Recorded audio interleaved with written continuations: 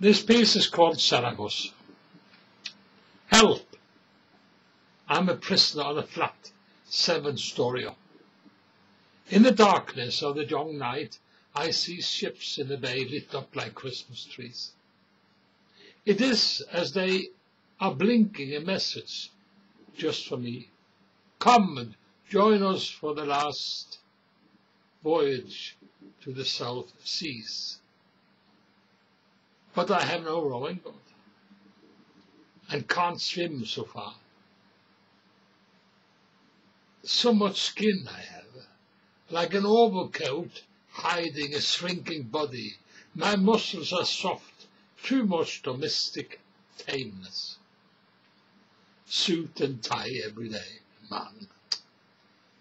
A seagull sits on the railing of the terrace. We met before. It used to follow my ship for days, shakes its head in sadness. Take lift, flies yonder.